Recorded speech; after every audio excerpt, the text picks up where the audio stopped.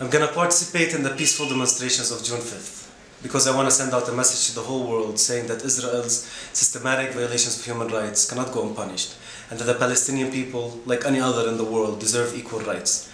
Israel simply cannot remain above the law.